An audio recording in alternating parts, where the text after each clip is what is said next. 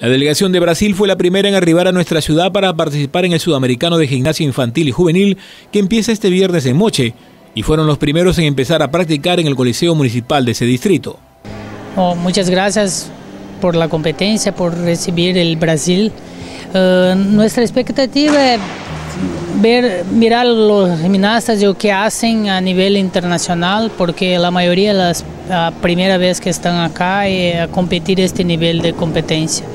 25 son los deportistas de esta delegación que buscarán ganar las preseas de oro, plata y bronce en este sudamericano, el cual servirá de experiencia para muchos de estos chicos, pues será su primera vez. Uh, estamos haciendo un trabajo muy duro en Brasil para mejorar la gimnasia.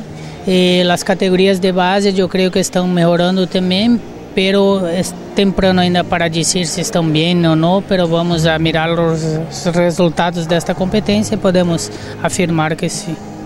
Finalmente, ellos se sintieron satisfechos con el material deportivo y el local donde se ha de realizar este sudamericano. Está muy bien, los aparatos buenos, es muy difícil hacer una competencia con tantas categorías, pero está, está bueno para hacer este nivel de competencia. Yo creo que está muy bien, todo pronto podemos entrenar bien y nos preparar para la competencia.